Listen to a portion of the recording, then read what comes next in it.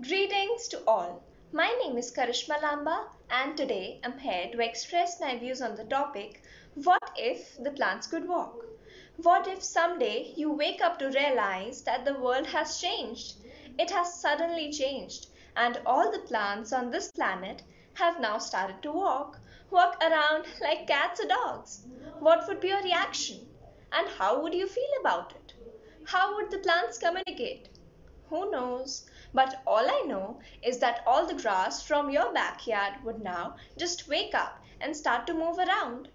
And now you'll probably have a hundred or a thousand new options for your pets.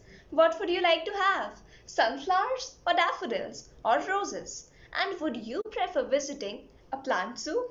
Yes, you heard me right, a plant zoo. We could even possibly visit plant zoos in the future. Could you imagine the sight of a farmer running around to catch his crops, to harvest them? And could you imagine what would the farmer feed the crops? He would probably feed them with water, some special kind of a plant food, maybe, and even some fertilizers until they grow up. Because after they grow up, they could simply pluck their own fruits and gulp them down. Now, let me tell you some more interesting facts. Do you know what is the height of the Big Ben? It is approximately 96 meters. And could you imagine the Big Ben walking around you? No, certainly not.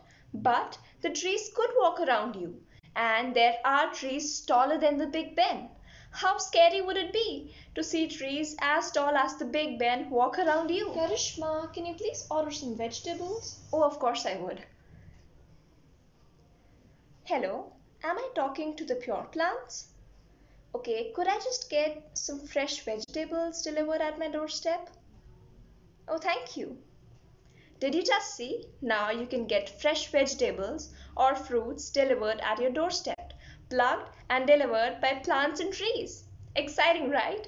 Of course it is. Have you ever had a horse ride? If yes, then you must have enjoyed it. And would you like to have a tree ride? Yes, you heard me right, a tree ride. Now you could even have a tree ride, as the plants and trees could move around. Now I would like to conclude this video with an interesting fact.